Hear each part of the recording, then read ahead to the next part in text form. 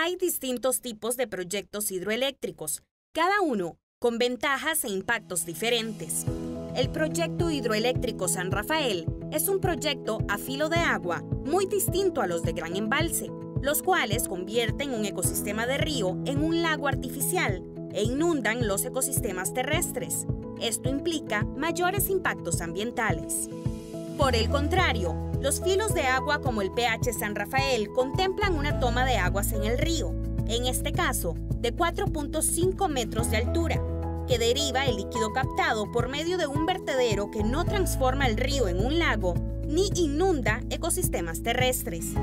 Posteriormente, el proyecto contará con un embalse pequeño menor a 2 hectáreas y que se ubicará fuera del cauce del río en área de potrero.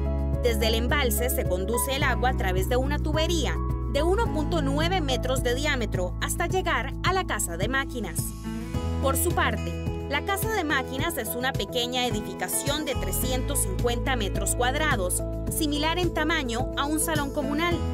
En ella se ubica la turbina y los equipos que transforman la energía del movimiento del agua en electricidad. Después de que el agua pase por la turbina de la Casa de Máquinas, toda el agua retorna al cauce natural del río.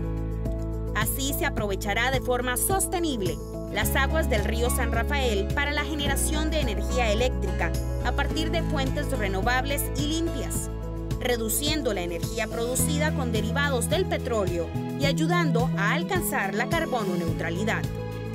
El PH San Rafael ofrecerá a LICE una potencia de 7.25 megavatios, capaz de generar la electricidad para alrededor de 21.000 hogares.